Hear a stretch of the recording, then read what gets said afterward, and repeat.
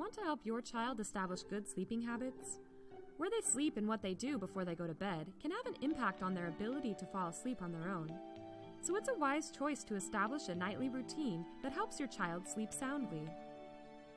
If your toddler struggles with going to bed, you may be wondering, how should I handle a wet bed in the middle of the night? Is it a help or a hindrance to give my little one a special blanket or stuffed animal to soothe them at night? What are some ways I can ease my child's fears of the dark? And are there any strategies that can make it easier for me to coax my reluctant sleeper into bed each night? For answers to these and other questions you may have about your child's bedtime routine, check out the videos in this collection.